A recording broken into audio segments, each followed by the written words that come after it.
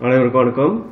நான் ஹரி பேசுகிறேன் defend people's rights குரூப்போட ஃபவுண்டர் ஸோ இன்றைக்கி நான் இந்த வீடியோ எதுக்கு செய்கிறேன்னா ஒரு புதுசாக ஒரு கேஸ் எக்ஸ்பிளைன் பண்ணுறதுக்கு ஒரு சாமியார் லேடின்னு சொல்லிட்டு சில நேரத்தில் ஃபியூ டைம்ஸ் குரூப்பில் என்னோட பேஜில் வந்து ஃபேஸ்புக் பேஜில் வந்து சில நியூஸ் போட்டிருப்பேன்.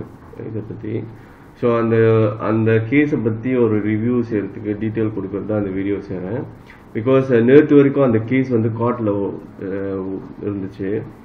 ஸோ ஒரு லா படி கோர்ட்டில் நடக்கிற கேஸை வந்து ரிவ்யூ பண்ண முடியாது. கோர்ட்டுக்கு கேஸ் ஃபால் பண்ணுறதுக்கு முன்னே அதில் கேஸ் முடிஞ்சிட்ட பிறகு தான் ரிவ்யூ பண்ண முடியும்.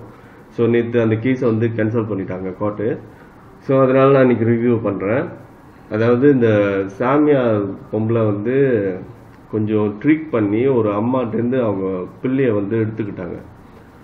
ஓகே அந்த இதை விஷயத்தை எக்ஸ்பிளைன் பண்ணுறதுக்கு தான் அந்த வீடியோ செய்கிறேன் அவங்க சுருக்கமாக சொல்லணும்னா சட்டத்தை மிஸ்யூஸ் பண்ணி பிள்ளையை கடத்திட்டாங்கன்னு சொல்லலாம்.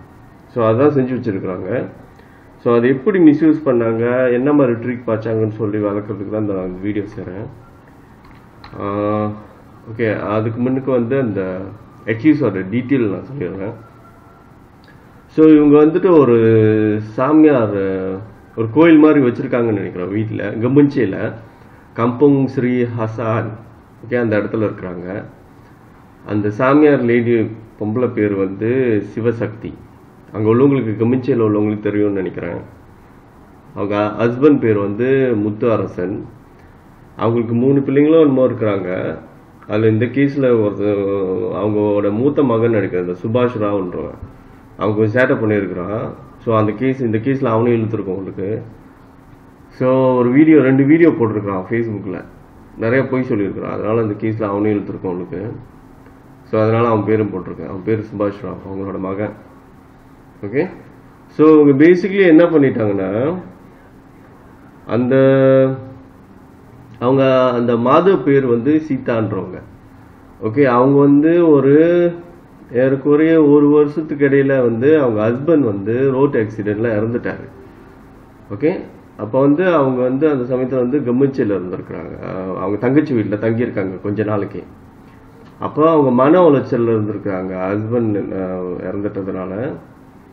அந்த சமயத்தில் அவங்க மாசமாவும் இருந்திருக்கிறாங்க. ஒரு ரெண்டு மாசம் பேபி வயிற்றில் இருக்கிறாங்க. ஹஸ்பண்ட் இறக்குறப்போ. அப்போ அந்த கோயிலுக்கு வர போக இருக்கிறப்போ அவங்களுக்கு ரொம்ப மரியாதை வந்துருச்சு அந்த சிவசக்தின்றவங்க மேல. ஒரு குரு மாதிரி எடுத்துக்கிட்டாங்க. ஓகே அங்க போனா கொஞ்சம் மன நிம்மதி கிடைக்குது அந்த கோயில்ல அப்படின்னு அவங்களுக்கு ஒரு நம்பிக்கை. அப்ப அந்த சிவசக்தின்றவங்க சொல்றதெல்லாம் அவங்க நம்ப ஆரம்பிக்கிறாங்க. ஓகே ஏத்துக்கிறாங்க. ஓகே அப்போ பிள்ளை வந்து அவங்க நினைக்கிறேன் ஒரு ஜூன் போல பிறந்திருக்கும்னு நினைக்கிறேன். ஜூன் முப்பது தேதி என்னமோ பிறந்திருக்கு அவங்களுக்கு பிள்ளை பேபி ஓகே அந்த பேபி பிறந்துட்டோடனே அந்த கோயிலுக்கு போயிருக்காங்க. உடனே இந்த சிவசக்தின்றவங்க ஜாதகம் பார்த்துட்டு இந்த பேபிக்கு ஆபத்து இருக்கு. மூணு மாசம் அந்த கோயிலில் வச்சு பா பாதுகாக்கணும். இல்லைன்னா அந்த பிள்ளைக்கு உயிருக்கு ஆபத்து இருக்குன்னு சொன்னோடனே அம்மா பயந்துட்டாங்க. ஸோ இதில் வந்து சில பேர் பல விதமான நியாயம். இந்த கேஸை ஃபர்ஸ்ட் ஆஃப் ஆல் அந்த கேஸை நான் மொத மொதல் பார்த்தது வந்து ஃபேஸ்புக் பேஜில் பார்த்தேன். தமிழர் ஒற்றுமை குடும்பம்ன்ற பேஜில் நான் பார்த்தேன் அந்த கேஸு Uh, நார்மலி ஆள் எங்ககிட்ட கீஸ் எடுத்து வந்தால் தான் நம்ம கே- இந்த கீஸ்க்கு கீஸாக இருந்துச்சுன்னா எவிடென்ஸ்லாம் இருந்துச்சுன்னா நம்ம அந்த கீஸ்க்கு அட்வைஸ் பண்ணுவோம். இந்த கேஸில் பேசிக்கலி வெரிஃபிகேஷன் முதல்ல செய்வோம். இந்த கேஸோட போலீஸ் ரிப்போர்ட் ஏதாவது கேட்போம். இதில் பார்த்தீங்கன்னா அந்த பேஜில் வந்து ஃபோட்டோஸ் போலீஸ் ரிப்போர்ட் எல்லாம் ஃபோட்டோலாம் இருந்தது. கேஸோட டாக்குமெண்ட் அப்போ இது ரியல் கேஸ்னு எங்களுக்கு தெரிஞ்சு போச்சு. ஸோ கால் பண்ணி கேட்டதில் இந்த மாதிரி ஒரு பாதிப்பில் இருக்காங்க. ஏமாற்றி வாங்கிட்டாங்க. அதாவது ஜாதகத்தில் பிரச்சனைன்னு சொல்லி பிள்ளையை வாங்கிட்டாங்க அப்படின்னு சொன்னதுனால நம்ம வந்து உடனே அந்த கீஸ்க்கு கீஸ் uh, எடுத்துட்டோம். ஹெல்ப் பண்ணுறதுக்கு ஓகே அப்போ வந்து தெரிஞ்சது என்னன்னா இந்த சாமியார் லேடி இந்த ட்ரீக் பார்த்துட்டு பிள்ளையே அவங்ககிட்ட இருந்து வாங்கிட்டாங்க எஸ் மாது அவங்க வந்து பயப்படுறாங்க. அப்போ அந்த அந்த எதுக்கு அது சொன்னா அந்த ஃபேஸ்புக் பேஜில் பார்த்தீங்கன்னா அப்போ நிறைய பேர் என்ன கமெண்ட் பண்ணுறாங்கன்னா இது என்ன முட்டாள் பொம்பளையா? எதுக்கு யாராவது பொம்பளை ஒரு பேபி அவங்க பேபியை போய் இந்த மாதிரி கொடுப்பாங்க? அந்த மாதிரி நீங்கள் நீங்க நினைக்க நினைக்க கூடாது ஏன்னா இதுல என்ன விஷயம்னா அவங்களோட சூழ்நிலை அவங்களோட சூழ்நிலை அப்படி. அதாவது ஹஸ்பண்ட் இப்பதான் ஒரு சிக்ஸ் மந்த்ஸ் அந்த பேபி பிறகுது ஒரு சிக்ஸ் மந்த்ஸ் இடையில இறந்துருக்காரு. சிக்ஸ் டு எயிட் மந்த்ஸ் இடையில இறந்துருக்காரு. அப்போ நிச்சயமா ஒரு சாதாரண நிறைய பேர் வந்துட்டு ஒரு பயத்துல ஒரு கவலையில இருப்பாங்க. அந்த மாதிரி சமயத்துல அவங்க பிள்ளைக்கும் ஆபத்து இருக்கு பேபிக்கு அப்ப அவங்க என்ன நினைப்பாங்க? ஓ எனக்கு பேட் டைம் போல என் குடும்பத்துல ஒருத்தவங்க சாவுறாங்க அப்படின்னு நினைச்சிட்டு அந்த பேபியை சேவ் பண்றதுக்கு தான் சம் மாத பிரச்சனை இல்லை. என் பிள்ளையை நான் பிரிஞ்சிருந்தாலும் பரவாயில்ல மூணு மாசம் கோயில்ல இருந்து சேஃபா ஆகட்டும் என் பிள்ளை அப்படின்னு நினைச்சுதான் அவங்க கொடுத்தாங்க. மொத்தப்படி இதுல அலட்சியமோ அக்கறை இல்லாததனமெல்லாம் கிடையாது. அந்த பிள்- பிள்ளையை காப்பாத்துன்ற அந்த அந்த பேபி மேல உள்ள பாசத்துல தான் அவங்க அதை செஞ்சாங்க. ஓகே ஸோ அவங்க அது வழியா அந்த ட்ரிக் பார்த்துட்டு அந்த ஜாதகன்ற ட்ரிக்கை பார்த்து அந்த சாமியார் பொம்பளை வந்து இந்த பேபியை எடுத்துக்கிச்சு. அந்த த்ரீ மந்த்ஸ் டைமுக்கு அப்போ என்ன பண்ணிச்சுன்னா அடுத்த ட்ரிக் அடுத்த லெவல் ட்ரிக் என்ன பண்ணிருச்சுன்னா அந்த பொம்பளை ஓ இது வந்து நான் டாக்டர்கிட்ட போயிட்டு ட்ரீட்மெண்ட் கூட்டு போறப்போ டாக்டர் வந்து ட்ரீட்மெண்ட் பண்ண மாட்டாங்க ஏன்னா எனக்கு வந்து அந்த டாக்குமெண்ட் இல்லை. பஞ்சாபோட டாக்குமெண்ட் இல்லை. நீங்க வந்து ஒரு நம்ம ஒரு டாக்குமெண்ட் கொடுக்குறோம். நீங்க சைன் பண்ணிட்டு கொடுத்துட்டீங்கன்னா நான் அந்த ஜாகு பண்றதுக்கு த்ரீ மந்த்ஸுக்கு எனக்கு எனக்கு வந்து உரிமை இருக்கும் அப்படின்னு சொல்லிட்டு என்ன பண்ணிட்டாங்க?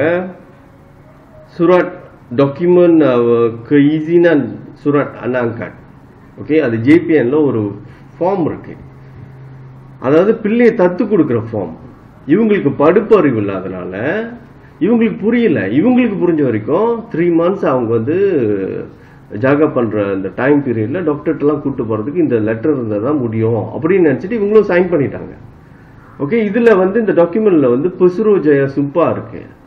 ஆக்சுவலி ஒரு பொசுரோ ஜெய பொறுப்பு என்னன்னா எந்த டாக்குமெண்ட் அவங்க சைன் பண்ணாலும் அது புரிஞ்சு செய்யணும். அதுல உள்ள கண்டென்ட்ஸ் என்ன அது என்ன அர்த்தம் அது விஷயம் என்ன இருக்கு அதுல சொல்லிட்டு. அது வந்து ஒரு சைனீஸோட புசுருஜய சும்பா கூட்டு போறாங்க. அது சைனீஸ் இவங்க கிட்ட கேட்ட கேள்வி ஒண்ணுதான். அவங்கள ஜாக பண்றதுக்கு நீங்க சம்மதிக்கிறீங்களா? இவங்கள பொறுத்த வரைக்கும் என்ன? த்ரீ மந்த்ஸ் ஜாக பண்றதுக்கு சம்மதிக்கிறாங்க. அந்த மீனிங்ல இவங்களும் ஆமான்னு சொல்லிட்டாங்க. ஆக்சுவலி அது என்ன?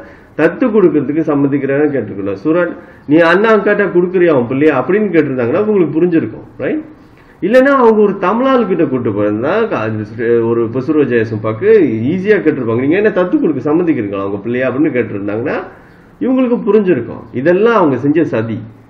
ஓகே ஜாதகன் சொல்லி பிள்ளையை பிடுங்கினது த்ரீ மந்த்ஸ் அது ஒரு சதி.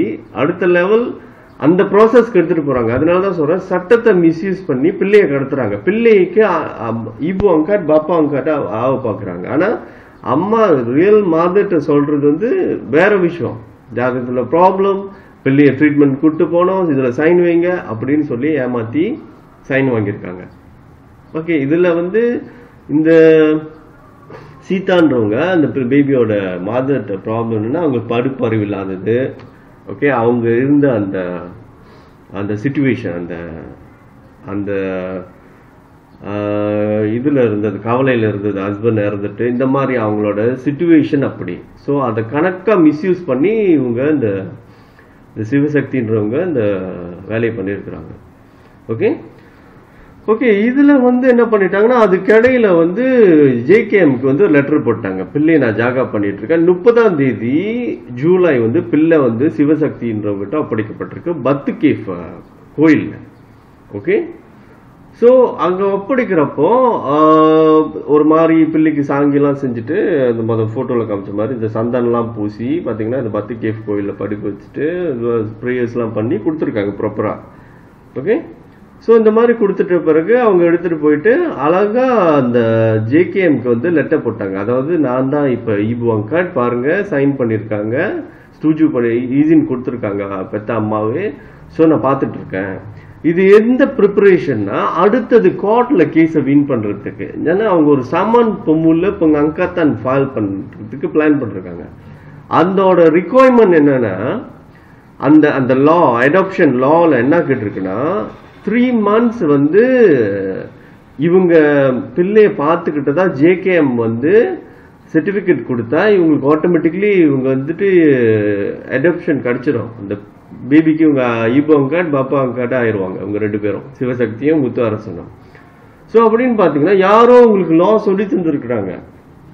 அதாவது இது எல்லாமே அவங்க ஜாதகத்துல கேட்ட த்ரீ மந்த்ஸ் வந்து அந்த லால கேட்குற அந்த த்ரீ மந்த்ஸ் ஜேகேஎம் அப்சர்வ் பண்ற டைம் ஓகே இந்த இந்த ஃபார்ம்ல சிக்னேச்சர் வேணும் அந்த டாக்குமெண்ட்க்கு ஈஸினா கத்தனால அதுல சைன் வேணும்னு சொல்லிட்டு எல்லாம் அவங்களுக்கு யாரோ ஒரு லாயரோ யாரோ சொல்லி தந்திருக்காங்க. அப்ப எல்லாமே இவங்க வந்து லா மிஸ்யூஸ் பண்ணி தான் அந்த பிள்ளைய கடத்த போறாங்க. ஆக்சுவலி அவங்க உண்மையான பெத்தவங்களுக்கு புரியாமையே எல்லாம் செஞ்சுட்டு இருந்திருக்காங்க. அந்த கொடுத்த அந்த அம்மாக்கு என்ன தெரியும்னா ஆஃப்டர் த்ரீ மந்த்ஸ் என் பிள்ளையை நான் போய் தூக்கிட்டு வர போறேன். அப்படிதான் நினைச்சுக்கிட்டு இருக்கேன். அந்த த்ரீ மந்த்ஸ் இவங்க எப்படி வாழ்ந்துட்டு இருக்காங்க. ஆனால் இதுங்கெல்லாம் சதி பண்ணிக்கிட்டு பிள்ளையை கடத்துறதுக்கு ப்ரிப்பரேஷன் லா ப்ரிப்பரேஷன் கேஸ் எல்லாம் ஃபைல் பண்ணிருச்சுங்க கோர்ட்ல ஓகே அப்போ தேர்ட் முப்பது ஜூலை கொடுத்த அவங்க அம்மா பத்து அக்டோபர் முப்பதாம் தேதியோடு முடிஞ்சில த்ரீ மந்த்ஸ் போயிருக்காங்க. கவர்மெண்ட்ஸுக்கு போயிட்டு கேட்டா பிள்ளைய பிள்ளைய கொடுக்க முடியாது என்ன பண்றையோ பண்ணிக்கோன்னு சொல்லியிருக்காங்க. ஒரு அம்மா பெத்தவங்க கிட்ட சொ- சொல்றதுக்கு இந்த பொம்பளை யாரு? சிவசக்தி. ஓகே ஸோ ஜஸ்ட் அந்த சுரட் கைசின தவறுதலா சைன் பண்ணியிருக்காங்க இவ்வளவுதான் மேட்ரு இந்த நாட்டுல இந்த ஒரே ஒரு சின்ன சிக்கல். ஆனா ரொம்ப இமோஷனலான விஷயம். ஒரு ஒரு அம்மாவுக்கு தான் அந்த பெயின் தெரியும். ஓகே எல்லா அம்மாங்களுக்கும் தெரியும் அவங்களோட. கை குழந்தை அது. அந்த பேபியை வந்து தூக்கிட்டு வச்சுட்டுட்டா வச்சுட்டுடா. பிரிச்சுட்டா. அவங்க மனசு என்ன பாடுபடும்? உன் பிள்ளைய உன்கிட்ட கொடுக்க முடியாதுன்னு சொன்னா என்ன பாடுபடும்? இதை சால்வ் பண்றதுக்கு இத்தனை மாசமாச்சு. எந்த டிபார்ட்மெண்ட்னாலையும் முடியலையா? இன்னைக்கு வரைக்கும் பிள்ளை கொடுக்கல. ஸோ அதுதான் என்னுடைய ஆத்திரம் அந்த மலேசியாவோட அதிகாரிங்க மேல. என்ன குப்பை வேலை செய்யறானுங்கன்னு சொ- தெரியாது. ஓகே இவ்வளவுக்கு கேவலமா நடந்துக்கிறானுங்க எல்லாரும். ஓகே இதுக்கு முன்னே அவங்க ரிப்போர்ட் போட்டப்போ போலீஸ்காரன் சொன்னா கேஸ் கார்டில் நடக்குது. இது ஜெனரலா சொல்றது. கேஸ் கார்டில் நடந்தா எந்த டிபார்ட்மெண்ட்டும் இன்டர்ஃபியர் பண்ண முடியாதுன்றது ஒரு ஜெனரல் இது. இருந்தாலும் இந்த மாதிரியான இமோஷனலான விஷயம் ஒரு அம்மாட்டேருந்து பிள்ளைய பேபியை கடத்தி வச்சிருக்காங்க எடுத்து வச்சிருக்காங்க விருப்பம் இல்லாம அப்படின்னு சொல்றது வந்து செக்ஷன் படி கிட்னாப் தான். அது சட்டப்படி நல்ல சட்டம் புரிஞ்சவங்களுக்கு அது கிட்னாப்னு தெரியும். இந்த ம- இவனுங்களுக்கு அது ஒத்துக்க மாட்டானுங்க போலீஸ்காரனுங்க. ஏன்னா அவனுக்கு வந்து எப்பயுமே குற்றவாளிக்கு தான் சப்போர்ட் பண்ணுவாங்க மலேசியால. மலேசியால வந்து குற்றவாளிங்களும் தான் முதலிடம். கேஸ் கொடுத்தவங்களாம் வந்து குற்றவாளி மாதிரி நடத்துவானுங்க. ஓகே அவங்க அம்மா கேஸ் போட்டாங்களா? அதனால இவங்கள தான் குற்றவாளி நடத்துவாங்க. யார் கேஸ் மேலே இருக்கு? அந்த சாமியார் மேலேயும் அந்த பொம்பளை அந்த மாம்பழம் மேலேயும் புருஷ மேலாம் இருக்குல்ல அவங்களாம் வந்து ஸ்பெஷலாக இது பண்ணுவாங்க. ஓகே மரியாதை ஸ்பெஷல் மரியாதை கிடைக்கும். ஏன்னா அவங்க குற்றவாளி இல்லை இதான் மலேசியா. ஓகே இந்த குற்றவாளிகளுக்கு அவங்க ரொம்ப மதிப்பு கொடுத்தானுங்க. இது- இது கிட்னாப் கேஸில் வரும் கிட்னாப் இல்லை. ஏன் kidnap கேஸ்னா section three seven one in penal கோட்ஸில் பதினாறு வயசுக்கு குறைவாக உள்ள ஒரு ஒரு கேர்ள் அல்லது பாய்னா ஃபோர்டீன் இயர்ஸ் இவங்கெல்லாம் வந்து ஒரு கன கனவு தான் லாவில் இருக்குது. ஓகே இவங்கள இந்த லாஃபுல் கார்டியனோட அனுமதி இல்லாம வச்சிருந்தாலே கிட்னாப்னு மீனிங் அந்த செக்ஷன் படி. நான் டிக்ஷனரியோட மீனிங் சொல்லல. இந்த செக்ஷன் கீழே அவங்க அம்மாவுக்கு விருப்பம் இல்லை தானே அவங்க அம்மா வந்து பிள்ளைகள் வந்து அவங்கள ஃபோரவா வச்சுக்கிறதுக்கு சம்மதிக்க கிடையாது. இப்போ இந்த சாமியார் லேடி யாரு? அந்த பேபிக்கு லாஃபுல் கார்டியனா கிடையாது. அவங்க கோர்ட்ல வின் பண்ண கிடையாது. இப்போ அவங்க இப்பதான் கேஸே ஃபைல் பண்ணியிருக்காங்க இந்த பாயிண்ட்ல அவங்க தானே லாஃபுல் கார்டியன் பிகாஸ் அவங்ககிட்ட வந்து பர்த் சர்டிபிகேட்ல இவங்க தான் பெத்தவங்க அம்மான்னு போட்டிருக்குது. இவங்களுக்கு சம்மந்தம் இல்லை பிள்ளை அவங்க வச்சுக்கிறது. சொன்ன ரீசன் வேற. கொடுத்தது ஜாதக ரீசன் அந்த த்ரீ மந்த்ஸ் ஓவர் இப்ப நான் பிள்ளை எனக்கு பேபி எனக்கு வேணும். கொடுக்க வேண்டியதானே? அப்ப போலீஸ்க்கு நிறைய பவர் இருக்கு. கிட்னாப் செக்ஷன்ல சார்ஜ் பண்ணிருக்கலாம். பொய் சொல்லியிருக்கிறாங்க. டாக்குமெண்ட் ஃபோர்ஜரியில சார்ஜ் பண்ணிருக்கலாம். சிட்டிங் இதுல சார்ஜ் பண்ணிருக்கலாம். பிள்ளைய வாங்கி உடனே கொடுத்துருக்கலாம். என்ன சொல்லிருக்கலாம்? அந்த சிவசக்திட்டையும் அந்த முத்து அரசிட்டையும் நீ கேஸை வின் பண்ண அடாப்ஷன் கேஸ் ஃபைல் பண்ணிக்கலாம். வின் பண்ணி பிள்ளைய எடுத்துக்கோ. நீ அந்த பாயிண்ட்ல தான் லாஃபுல் கார்டின்னு சொல்லியிருக்கலாம். ஆனா எடுத்தோடனே அது ஒரு காரணமா சொல்லி கோர்ட்ல கேஸ் நடக்குதுன்னு சொல்லிட்டு அந்த கேஸை அவனுக்கு அன்னைக்கு எடுக்கல. ஓகே அப்போ இதுக்கு முன்னுக்கு அந்த டேட்டை மறந்துட்டேன். நவம்பர் டுவெண்ட்டி ஃபர்ஸ்ட் நினைக்கிறேன். கேஸ் வந்தது கோர்ட்டில் ஓகே நான் போயிருந்தேன். நல்ல வேளை போயிருந்தேன். போயிருந்தா அடிச்சு பிடிச்சி நுழைஞ்சிட்டோம் கேஸுக்கு ஜட்ஜி முதல்ல அம்மாவை கூப்பிடையே கூட இல்லை. லாயருக்குள்ளார பேசிக்கிட்டு இந்த பொம்பளை வந்து கேஸுக்கே வரல. கேஸ் போட்டவங்க கேஸுக்கு வரல. லாயர் மட்டும் வந்திருந்தாங்க. லாயர் மட்டும் ஜோ லாயரும் ஜேகேயும் பேசிட்டு அப்படியே கேஸ் வந்து தள்ளி போட்டோம் ஏன்னா வரல. பார்ட்டிஸ் வரல. தென் போஸ்ட்போன் டு நேற்று உள்ள டேட் ஓகே எட்டாம் தேதி பன்னெண்டாம் மாதம் நேற்று ஸோ எங்களுக்கு சரியான ஆத்திரம் வந்துருச்சு எனக்கு. என்னலாம் அம்மாட்ட கேட்காம முடிவு எடுத்துட்டீங்க? அவங்க தான் வரலையே கேஸை போங் பண்ண வேண்டியதானே? கேஸை பிள்ளையை கொடுக்கும் பேபியை கொடுங்கடா முதல்லன்னு சொல்லி தான் எங்களோட இது. எத்தனை நாள் நான் வச்சிருக்க போறாங்க? அவங்களை அவங்க யாரா வச்சுக்கிறதுன்னு சொல்லிட்டு தான் அப்போ எங்களை பேச விடாது எனக்கு சரியான ஆத்திரம் வந்துச்சு. அப்புறம் ஜுரூபா சார் போய் நம்ம ரொம்ப அக்யூமெண்ட் பண்ணோம். கண்டிப்பாக நான் வந்து கம்ப்ளைண்ட் போடுற ஐடியாவில் தான் இருந்தேன் ஜட்ஜி மேலே. அது வாய்ப்பு கொடுக்கலாம். நல்ல வேளை ஜட்ஜி வந்துட்டு பிறகு ஏற்றுக்கிட்டாங்க கேஸ் நடந்தது. ஓப்பன் கார்ட்டில் பேச விட்டாங்க. என்னையும் பேச விட்டாங்களா? நார்மலி என்னெல்லாம் பேச விடணும் அவசியம் இல்லை கோர்ட்டுக்கு மலேசியாவில் அப்படிதான் சிஸ்டம் வச்சுருக்குறாங்க. அதாவது லாயர் வந்து தான் ரெப்ரசன்ட் பண்ண முடியும். இல்லைன்னா கேஸில் சம்மந்தப்பட்டவங்க தான் பேச முடியும். மற்றவங்க யாரும் பேச முடியாதுன்னு சொல்கிறாங்க ஸோ அதெல்லாம் மாற்றுறதுக்கு டிஃபென்ட் பீப்புள்ஸ் ரைட்ஸ் குரூப்பில் ஃப்யூச்சரில் நிறையா ஐடியா வச்சுருக்கோம். அதுக்கு மக்களுக்கு முதல்ல சட்டம் நிறையா புரியணும். எப்படி செயல்படுத்துறாங்கன்னு சொல்லிட்டு இப்போ பேசிக் ரைட்ஸே கிடைக்கிறதுனால அதெல்லாம் அட்வான்ஸான விஷயம் அதெல்லாம் இப்போ கிடைக்காது. ஸோ அதனால வந்துட்டு இப்போதைக்கு உள்ளதை மட்டும் பேசுவோமே அதாவது விட மாட்டாங்க. மற்றவங்க பேசுறது ஆனால் அந்த ஜட்ஜ் வந்து என்னை விட்டார். சரி என்ன தான் சொல்ல போகிறேன் இப்போ நான் சொன்னேன் நான் ஒரு ஆக்டிவிஸ் இவங்களுக்கு ரெப்ரசென்ட் பண்ணுறேன் என்கிட்ட ஹெல்ப் கேட்டிருக்காங்க இந்த மாதிரி நடந்துருச்சுன்னு சொல்லிட்டு இந்த மாதிரி சிட்டிங் பண்ணியிருக்கிறாங்க. நான் கேட்டது ஒன்று தான் ஜட்ஜுக்கிட்ட இப்போ இந்த சிவசக்தியும் முத்து அரசனும் யாரு? அந்த பேபியை வச்சுக்கிறதுக்கு. ஏன் பிள்ளை அவங்ககிட்ட இருக்குது? பிள்ளை இப்ப எங்க இவங்க அம்மாட்ட வர்றதுக்கு என்னதான் வழி அப்படின்னு கேட்டப்ப ஜட்ஜி சொன்னாரு நீங்க ஏன் போலீஸ் ரிப்போர்ட் போட்டு போலீஸ் ஆள் கேட்கல அப்படின்னு ஜட்ஜே வந்துட்டு போலீஸ் கிட்ட கேளுங்க ஜேகேஎம் கிட்ட கேளுங்க. என்னால இந்த சமயத்துல வந்து நான் உதவி செய்ய முடியாது. ஏன்னா அப்ளிகேஷன் இல்லை. என்கிட்ட எந்த பெர்மோனானும் வரல. பிள்ளைய வந்து அம்மாட்ட ப- பெத்தவங்க கிட்ட கொடுக்குன்னு சொல்லி அப்படின்னு சொல்லிட்டு ஜட்ஜ் ஆனால் அந்த நேரத்துலையும் போலீஸ் ஆக்ஷன் எடுக்கலாம் அப்படின்னு தான் சொன்னாரு. அதுதான் நானும் பிகினிங்லயும் சொல்றேன்.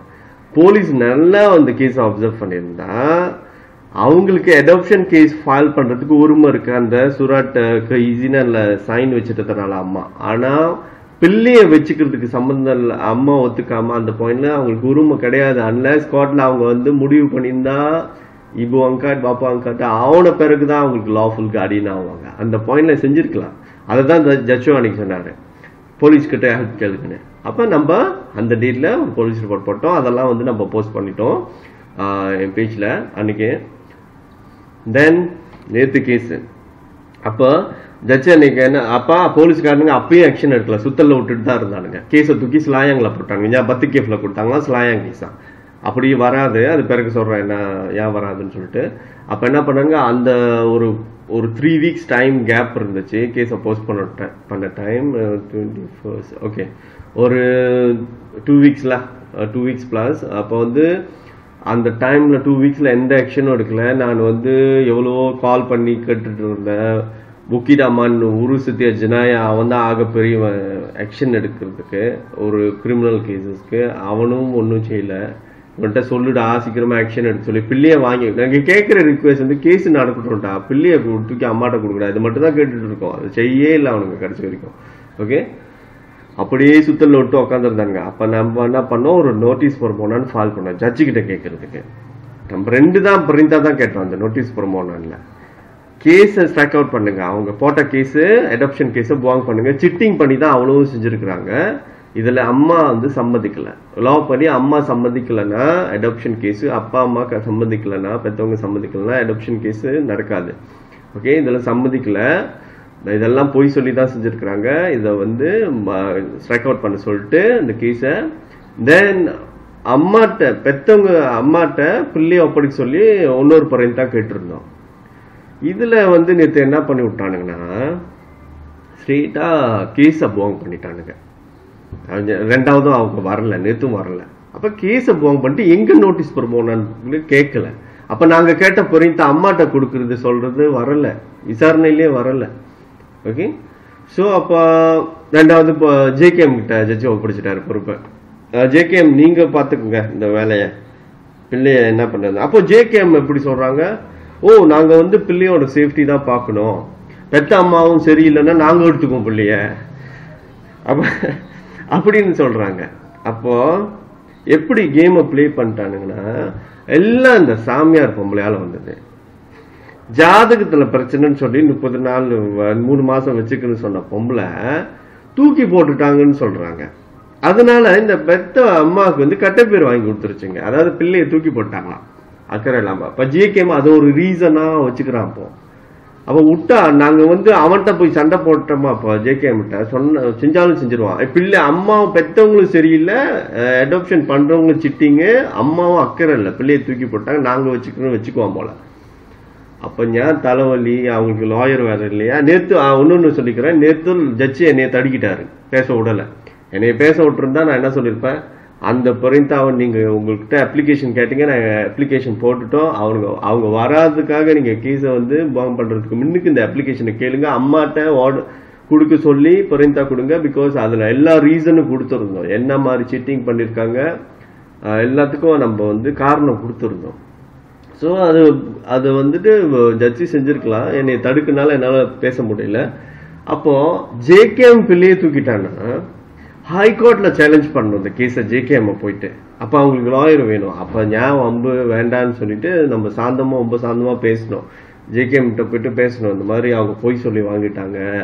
நாங்க எல்லா எவிடன்ஸும் வச்சிருக்கோம். அப்ப ஜேகேஎம் என்ன சொன்னாங்கன்னா நீங்க போலீஸ் ரிப்போர்ட் பண்ணுங்க. போலீஸா ஆக்ஷன் எடுக்க சொல்லுங்க. ஒன்ஸ் அவங்க சிட்டிங் தான் பண்ணிருக்காங்கன்னு எங்களுக்கு தெரிஞ்சிட்ட பிறகு இவங்க நல்லா பாத்துக்கிறாங்கன்னு தெரிஞ்சா நம்ம கொடுத்துட்றோம். பிள்ளையை இவங்ககிட்ட ஒப்படைச்சிடுறோம் அப்படின்னு. ஓகே அப்போ நேற்றும் போலீஸ் ரிப்போர்ட் பண்ணோம். ஓகே போலீஸ் ரிப்போர்ட் பண்ணோன்னே ஃபர்ஸ்ட் அந்த போலீஸ் ரிப்போர்ட் நேற்று பண்ண ரிப்போர்ட் என்னன்னா இந்த சிவசக்தி இந்த இந்த கேங் இந்த கு- இந்த சாமியாரோட கேங் எவ்வளோ சிட்டிங் செஞ்சிருக்குது அந்த கேஸ்லன்னு சொல்லிட்டு நான் எவிடன்ஸ் வீடியோ எவிடன்ஸ் எல்லாம் சொல்லிட்டு எக்ஸ்பிளைன் பண்ணிட்டு அவங்க பிள்ளைய பாசமா அந்த ஒன் மந்த் பீரியட் அந்த சிவசக்தின்றவங்க ஒப்படைக்கிறதுக்கு முன்னாடி ஒரு மாசம் பேபி வந்து அவங்க பெத்தவங்க கிட்ட தான் இருந்திருக்கு. அந்த ஒரு மாசம் பீரியட்ல அவங்க பிடிச்சி வச்சுக்க போட்டோஸ் வீடியோஸ் அவங்க அந்த பேபியை பாசமா பாத்துக்கிறது இதெல்லாம் எவிடன்ஸா இருக்கு. ரெண்டு விட்னஸ் இருக்காங்க. இந்த கேஸ பிகினிங்லேருந்து அந்த பொம்பளை ஜாதகத்துலேருந்து போய் சொல்லிட்டு வர்றத அவங்க கூ- சொந்தக்காரங்க கூட இருந்தவங்க ரெண்டு விட்னஸ் இருக்காங்க. இதெல்லாம் வந்து போலீஸ் கிட்ட இன்ஃபார்ம் பண்ணிட்டோம். விச் இஸ் நம்ம என்ன ட்ரை பண்றோம்னா சிவசக்தி இந்த ப- இந்த அவங்க ஹஸ்பண்ட் எல்லாமே வந்து சிட்டிங் பண்ணி தான் இந்த பிள்ளைய வாங்கியிருக்காங்க. பெத்தவங்க வந்து பிள்ளைய வந்து அலட்சியப்படுத்தி தூக்கிலாம் போடல. பிள்ளைய பாசமா தான் பார்த்துருக்கேன் இந்த ரெண்டு சைட்டும் ரெண்டு இதுவும் பேலன்ஸ் பண்ணி நம்ம ப்ரூவ் பண்றதுக்கு தான் நேத்து உள்ள ரிப்போர்ட் செஞ்சோம். போலீஸ் ஆக்ஷன் எடுக்க சொன்னோம். நேத்து எங்க எங்களுக்கு என்ன வந்து போலீஸோட இதில் இதுல எங்களுக்கு பாசத்தி இல்லைன்னா நம்ம இதுக்கு நேற்று வந்து அது வந்து ஸ்ரம்பான் ரிப்போர்ட் ஆகும். பிகாஸ் கோர்ட்டில் கேன்சல் பண்ணது ஸ்ரம்பான் கோர்ட்டில் ஜேகேஎம் அதிகாரிகள்லாம் நம்ம வெளியில் காட்டு விட்டு வெளியே வந்து அந்த காரிடோர்ல பேசிட்டு இருந்தது. எல்லாமே ஸ்ரம்பான் கார்ட் ஸோ இது ஸ்ரம்பான் இன்சிடென்ட் ஸோ அது ஸ்ரம்பான் ரிப்போர்ட்டாக வரும். ஸோ நம்ம நேற்று ரிப்போர்ட் பண்ணோம். ஓகே நம்ம சொன்ன மாதிரி என்னென்ன எவிடன்ஸ் இருக்குன்னு சொல்லிட்டு மென்ஷன் பண்ணுறதுக்கு ரிப்போர்ட் பண்ணோம். அதுக்கு முன்ன டுவெண்ட்டி ஃபர்ஸ்ட் நவம்பர் ஜட்ஜி வந்து நீங்கள் போலீஸ் ஹெல்ப் கேளுங்க. இன் பிட்வீன் பிள்ளை வந்து அம்மாட்ட வர்றதுக்கு. ஸோ அது வந்து அதுவும் ஸ்ரம்பான் கோர்ட்ல நடந்தது. ஸ்ரம்பான் இன்சிடென்ட் ஸ்ரம்பான் ரிப்போர்ட் அப்போ வந்து சிவசக்தியும் முத்து அரசனும் என்ன மாதிரி ட்ரிக்ஸ் பாய்ச்சிட்டு அந்த பிள்ளையை கடத்திருக்கிறாங்க. ஓகே சட்டத்துக்கு விரோத சட்டத்தை மிஸ்யூஸ் பண்ணி எப்படி கிட்னாப் பண்ணியிருக்கிறாங்க இந்த அடாப்ஷன் ப்ராசஸ் பாச்சு அப்படின்னு சொல்லிட்டு இன்ஃபார்ம் இது பண்ணியிருந்தோம். ரிப்போர்ட் பண்ணியிருந்தோம். அதுவும் ஸ்ரம்பான் ரிப்போர்ட் அதுக்கு முன்ன உள்ள ரிப்போர்ட் வந்து கமன்சே ரிப்போர்ட் ஏன் கமன்சே ரிப்போர்ட்னா முப்பதாம் தேதி அக்டோபர் அவங்க பிள்ளை ஆஃப்டர் த்ரீ மந்த்ஸ் கேட்க போறப்ப தான் கொடுக்கல. ஸோ அந்த இன்சிடென்ட் கமன்சேல நடந்தது. கமன்சேல போயிட்டு அந்த சாமியார் பொம்பளை வீட்டில் போயிட்டு அந்த பிள்ளையை எடுக்க வந்திருக்கோம். மூணு மாதம் முடிஞ்சுன்னு சொன்னப்ப அந்த பொம்பளை கொடுக்கல. ஓகே அது கவனிச்ச ரிப்போர்ட் இந்த கவனிச்ச ரிப்போர்ட் அதெல்லாம் கேஸ் எல்லாம் கோர்ட்டில் நடக்கிறதுனால போலீஸ் மேன் சொன்ன மாதிரி ஆர்டினரி ப்ராசஸில் ஜஸ்ட் கார்டில் நடக்குது கார்டில் பார்த்துங்கன்னு சொல்லி விட்டுட்டாங்க. நேற்று எனக்கு என்ன பாசிட்டிவ் அது சிலாயங்க்கு போய் பார்த்துக்கன்னு சொல்கிறான் சிரம்பான் ரிப்போர்ட் கமிச்சே ரிப்போர்ட் தான் கேஸ் ஃபுல்லாக இருக்கிறது. ஒரு போலீஸ் என்ன ப்ராசஸ் பார்க்க முடியும்? நான் ஒரு ரிப்போர்ட் எந்த இன்சிடென்ட் நடந்துச்சோ அதை ரிப்போர்ட் எடுப்பான். அந்த இடத்துல தான் ரிப்போர்ட் போடுவான். லெட்ஸ் அந்த இன் அந்த கேஸு அந்த report relate to another report அந்த கேஸ் பிகின் பண்ணது வேற இடம் அப்படின்னு சொல்றப்போ போலீஸ் ப்ராசஸ்ல ஆர்ஓஆர்னு ஒரு சிஸ்டம் uh, தான் பார்க்க முடியும். ரெஃபர் டு அதர் ரிப்போர்ட் அப்படி மட்டும் தான் பார்க்க முடியும். இந்த மூணு ரிப்போர்ட்ல ஒரு ரிப்போர்ட் கவனிச்ச ரிப்போர்ட் ரெண்டு ரிப்போர்ட் ஸ்ரம்பான் ரிப்போர்ட் எந்த ப்ராசஸ்ல அவன் இப்போ சிலாயங்க எடுத்துட்டு போக முடியும் கேஸ் ஏன்னா மத்துக்கேஃபில் நடந்துருச்சா பிள்ளை கொடுத்ததா. அது வந்து கேஸோட லாஜிக்லாம் கிடையாது. சும்மா கன்ஃபியூஸ் பண்றதுக்காக முயற்சி பண்றான் அந்த போலீஸ்காரனுங்க. கேஸ் வந்து பல இடத்துல நடந்திருக்கலாம். ஜா- ஜாதகம் வந்து கவனிச்சல பார்த்தாங்க. ஜாதகம் தானே முதல்ல பார்த்தாங்க. கேஸோட கொலைப்பிடிக்க முக்கிய காரணம் அந்த ஜாதகம் பார்த்ததுலேருந்து ஆரம்பிச்சு அப்ப கவனிச்ச ரிப்போர்ட்னு சொல்லுவானா? கேஸ் அந்த கடைசியா ஃபைனலா எங்க நடக்குதோ அங்கதான் கேஸோட கேஸ் நம்பர் வரும். ஓகே ஒரு எக்ஸாம்பிள் கொடுக்குறேன். அன்னைக்கு வந்துட்டு அந்த தங்கா தங்கால அந்த பையனை அடிச்சுட்டு திருடிட்டான்னு சொல்லிட்டு அடிச்சாங்கல்ல? அடிச்சிட்ட பையன் வந்து இறந்தது வந்து மிளாக்கால ஹாஸ்பிட்டல்ல ஸோ அந்த டெத் கேஸ் எங்க நடந்தது? மிளாக்கா ஹாஸ்பிட்டல் தென் அது கேஸ் வந்து மிளாக்கா கேஸ் ஆயிடுச்சு. அவ்வளோதான் அதே தான் ஃபைனலாக எங்கே பிள்ளை கொடுக்க முடியாதுன்னு சொன்னாங்க. கவர்மெண்ட்ல கொடுக்க முடியாதுன்னு சொன்னாங்க. ஓகே தட் மீன்ஸ் அந்த ரிப்போர்ட் கவர்மெண்ட் ரிப்போர்ட் ஆகும். இந்த ரெண்டு ரிப்போர்ட்டும் இன்சிடென்ட் யாரு? எல்லாம் கோர்ட்ல நடந்தது. ஸ்ரம்பன் கோர்ட்ல நடந்த இன்சிடென்ட் ஸோ எல்லாம் ரெண்டு ஸ்ரம்பன் ரிப்போர்ட் இப்போ போலீஸ் இந்த ரெண்டு ரிப்போர்ட்டையும் ஆரோ ஆர் பண்ணாலும் அது கவனிச்ச ரிப்போர்ட்டாக தான் ஆக முடியும். ஸோ இதை கவனிச்சே ஓ இல்லை போலீஸ் ஸ்ரம்பன் ரிப்போர்ட் அது என்ன சொல்லலாம் இதுவே ஒரு அவர்கிட்ட அக்யூம் பண்ண எங்களுக்கும் போலீஸ்க்கும் ஓகே இப்போ எங்களுக்கு வந்து அந்த ப்ராசஸ்லாம் பல வருஷமா கரைச்சி குடிச்சதுனால போலீஸ்காரன் எங்க டைவர்ட் பண்றான் எங்க ஏமாத்துறான்னு எங்களுக்கு தெரியும். இப்போ எங்களோட கடுப்பு என்னன்னா ஒரு பப்ளிக் வந்து இதெல்லாம் தெரியாது. Normal ordinary people first time second time report பண்ணவங்களாம் இதெல்லாம் தெரியாது இந்த ப்ராசஸ் எல்லாம் இந்த போலீஸ்காரனுங்க ஏன் இப்படி சுத்தல்ல விட்டுட்டு இருக்கானுங்க? ம்? எவ்வளவு சீரி இமோஷனலான விஷயம். ஒரு பெத்த அம்மாட்டேருந்து பேபி எடுத்துட்டானுங்க. கொஞ்ச நாச்சும் மனசாச்சு இல்ல. லஞ்சம் வாங்கிட்டு ஏமாத்துறானுங்க. இது பொதுவா நிறைய தடவை நடக்குது. இது சொல்லி சொல்லி கடுப்பா போச்சு. ஓகே அஞ்சடிக்காரனுங்க மாதிரி ஏமாத்துறானுங்க கேஸை ஆனா ஒரு மனசாட்சி இருக்கிறது இல்ல. சிம்பிளா புரிஞ்சுக்க வேண்டிய ஒரு கேஸ் ஆனா அதோட அதோட அந்த இமோஷனலான விஷயம். ஒரு பேபியை அம்மாட்டேருந்து பிரிச்சுட்டாங்க. ஏடா வாங்கி கொடுத்துட்டு போங்கடா. என்னடா பிரச்சனை? ஆ? அப்படி என்ன லஞ்சத்துல அப்படி ஊறிக்கிட்டு அதுல என்ன காசு பட்டு இதெல்லாம் ஒரு பிசினஸ் அவனுங்களுக்கு சம்பளமும் வாங்கிக்கிறானுங்க லஞ்சம் வாங்கிட்டு ஏமாத்திக்கிட்டு இருக்கானுங்க கேஸ ஓகே ஸோ இதுதான் எங்களோட ஆத்திரம். கடைசியாக கடைசியா என்ன சொல்லியிருக்கிறாங்கன்னா அடிச்சு பிடிச்சி ஆனா சிரமன் போலீஸ் கேஸ் எடுத்துட்டான். கடைசியா கமர்ஷியல் கிரைம்க்கு கேஸ் அனுப்பியிருக்கானுங்க. அவன் வந்து என்ன சொல்லிருக்கான் கோர்ட் ஆர்டர் எடுத்துருவாங்க பில்லை கொடுக்குறோம். ஓகே பிரச்சனை இல்லை. சொன்னது வந்து மணி ஏழு மணிக்கு மேலேன்னு நினைக்கிறேன்.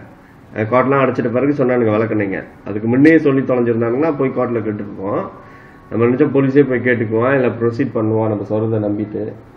ஸோ பண்ணல. ஸோ மண்டே அவங்கள வந்து நான் கோர்ட்டில் வந்து அந்த ஆர்டர் அவங்க பிள்ளைங்கள வேறு இருக்கிறாங்க ஓகே கோர்ட்டில் கால் பண்ணி கேளுங்க அந்த டாக்குமெண்ட் போஸ்டில் எல்லாம் இமெயில் அனுப்ப சொல்லுங்கள் தென் போலீஸ்காரன்ட்ட இமெயில் பண்ணி அந்த ஆயோட்ட கொடுத்துருங்கன்னு சொல்லியிருக்கேன். ஸோ இந்த சமயத்துலனாச்சும் பிள்ளையை எடுத்து கொடுப்பாங்கன்னு நம்புவோம். ஏன்னா கேஸ் கேன்சல் அவங்களுக்கு ஈபோ அங்காட்டாவும் அவங்கள பப்பா அங்காட்டாவும் ஆகலை ஸோ இந்த சமயத்துல போலீஸ்காரனுங்க தூங்கிட்டு இருந்தானுங்கன்னா என்னான்னு அவனுங்க ஏசுறதுன்னு தெரியல.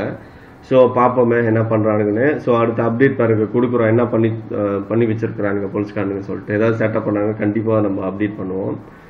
ஸோ இந்த சுபாஷ் ராவுன்றவன் நான் எதுக்கு போட்டிருக்கேன்னா அவன் ஃபேஸ்புக்கில் வீடியோ அப்லோட் பண்ணாங்க இந்த ஃபேஸ்புக் பேஜில் அவங்க வந்து ஹெல்ப் கிடைக்கும்னு சொல்லிட்டு அவங்க போஸ்ட் பண்ணாங்களே யாராவது கிடைக்கும் அதனால தான் நான் போனேன். நான் போனனால தான் அவங்கள வந்து ஏமாத்தாம எல்லாத்தையும் தடுக்கணும். கோர்ட் ப்ராசஸ்லேருந்து போலீஸ் ப்ராசஸ்லேருந்து எல்லாத்துலேயும் அந்த சிட்டிங்கெல்லாம் தடுக்கி நம்ம வந்து கேஸை வந்து கடைசியாக போலீஸ் சிரமமான ஆக்ஷன் எடுக்கிறதுக்கு வ- முன் வந்திருக்கிறான். ஸோ இந்த சுபாஷ் ராவ் என்ன பண்ணானா அதை வந்து சுத்தல விடுறதுக்கு அந்த டாக்குமெண்ட்டை காமிக்கிறான் அந்த வீடியோவில் அந்த சுராட் ஈஸினா நான் தான் காட்டேன். என்ன நான் பொய் சொன்னான்னா கோர்ட்லேயே கேஸ் முடிஞ்சிருச்சுன்னுட்டான் பாப்பா அவங்க காட்ட ஆயிட்டாங்களா? அவங்க அம்மா அப்பாவும். கோர்ட்ல கேஸ் முடிஞ்சிருச்சான் இப்போ அவங்க அவங்க இந்த சீதான்றவங்களோட சொந்தக்கார தம்பியோட ஒய்ஃப் வந்து சேட்டப் பண்றாங்க. ஃபேஸ்புக்கில் இதெல்லாம் போட்டுட்டு காசுக்காக கண்ட கண்டதெல்லாம் ஃபேக் நியூஸ் போடுறாங்கன்னு சொல்லிட்டு பயங்கரமா பேசுறான் அந்த வீடியோல அவங்கள என்னென்ன டிஃபைன் பண்ணானா அவங்களுடைய சொந்தக்கார தம்பியோட வைஃப் வந்து ரெண்டு வருஷம் ஜெயிலில் இருந்தாங்க. அந்த வீடியோவில் சொல்றான் முக்கிட்டு அம்மான் போலீஸ்கிட்டேருந்து அவன்கிட்ட இன்- அவனுக்கு இன்ஃபர்மேஷன் கிடைச்சிட்டான். இப்படின்னு பார்த்தா கோர்ட்டோட இது மிஸ்யூஸ் பண்றான். கோர்ட்ல தீர்ப்பே வழங்கிட்டாங்கன்னு சொல்லிட்டு ஒரு பொய் அவ அது வந்து கோர்ட்டோட நேமை யூஸ் பண்றான். முக்கிட்ட அம்மான் போலீஸோட நேமை யூஸ் பண்றான். ஒரு போய் அவங்கள டிஃபைன் பண்றது ஜெயிலுக்கு போயிட்டான் ஒரு ரெண்டு வருஷம் ஜெயில் நான் அனுபவிச்சுட்டு வந்தவங்கன்னு சொல்லி அதெல்லாம் பொய் சொல்லியிருக்கிறான் ஓகே அப்புறம் வந்து அதை விட இன்னொரு அவங்க குடும்பத்தை அவமதிக்கிற மாதிரி இன்னொரு பொய் சொன்னான். என்ன சொன்னான்னா அவங்க சீதான்றவங்களுக்கு இருபது வயசுலேயும் பதினெட்டு வயசுலேயும் ஒரு பிள்ளைங்க இருக்கிறாங்க. பெரிய பிள்ளைங்களும் இருக்காங்க. ஓகே ஸோ அந்த பிள்ளைங்களோட ஹிஸ்ட்ரி வர என்ன போய் சொன்னான்னா சின்னதில் அந்த பேபிங்க அவங்க பேபியா இருக்க போய் தூக்கி வீசிட்டாங்களா பிள்ளைய? பிள்ளைய தூக்கி வீசி போட்டு அவங்க துணியில சுத்தி வீசிட்டாங்களாம் வீசிட்டு பெருசா வளர்த்துட்ட பிறகு போய் தூக்கிட்டு வந்துட்டாங்களாம் அதே ஒரு வேலையா போச்சா? பிள்ளைய தூக்கி வீசுறதா வளர்த்துட்ட பிறகு போய் எடுத்துட்டு இப்படி மனசாட்சி இல்லாம அவ்வளோக்கு போய் சொல்லி அவங்க குடும்பத்தை அவமதிச்சு தப்பு தப்பா பேசி இப்படி வச்சிருந்துருக்குறாங்க. ஸோ இவனை வந்து டிஃபர்மேஷன் செக்ஷனில் சார்ஜ் பண்ணலாம். அவங்கள இன்சல்ட் பண்ண செக்ஷன் சார்ஜ் பண்ணலாம். அப்புறம் இன்டர்நெட்டை மிஸ்யூஸ் பண்ணதில் சார்ஜ் பண்ணலாம். எல்லாமே நம்ம போலீஸ்கிட்ட ரிப்போர்ட் பண்ணிட்டோம். இவன் மேலேயும் ரிப்போர்ட் பண்ணிட்டோம். இவன் மேலேயும் ஆக்ஷன் சொல்லிட்டோம் சொல்லிட்டோம். என்னதான் பண்ணுறான்னு பார்ப்பேன். எவிடன்ஸ் இஸ்கிலேயே வீடியோலாம் டவுன்லோட் பண்ணி வச்சிருப்பேன். அவன் பண்ண பொய்யெல்லாம். ஸோ எங்கேயுமே தப்பிக்க முடியாது. கேஸே நேற்று தான் வாங்க அவனுச்சு வர வராமல் கேஸ் வந்து அடாப்ஷனே நடந்துச்சுன்னு சொல்லிட்டு கோட்டெல்லாம் இழுத்து வச்சு போய் பேசியிருக்கிறான். எல்லாம் கிளியராக இன்ஃபார்ம் பண்ணியிருக்கோம். போலீஸ் என்ன மாதிரி நடவடிக்கை எடுக்கிறாங்க பார்ப்போம். மினிமம் நம்ம என்ன எதிர்பார்க்குறோம்? இந்த போலீஸ் டிபார்ட்மெண்ட் இவ்வளோ பெரிய டிபார்ட்மெண்ட்டை அந்த பேபியை வாங்கி அம்மாட்ட கொடுத்துருங்கடா. அதனாச்சும் செய்யுங்க. இந்த குற்றவாளி தான் இவனுங்க தான் செல்லமாக பார்ப்பானுங்களே மலேசியாவில் குற்றவாளி தானே அவங்களோட தெய்வம்.